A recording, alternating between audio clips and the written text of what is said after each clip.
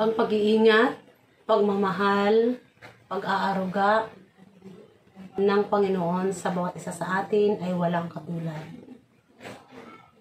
Walang katumbas. Hindi mabili ng salapi.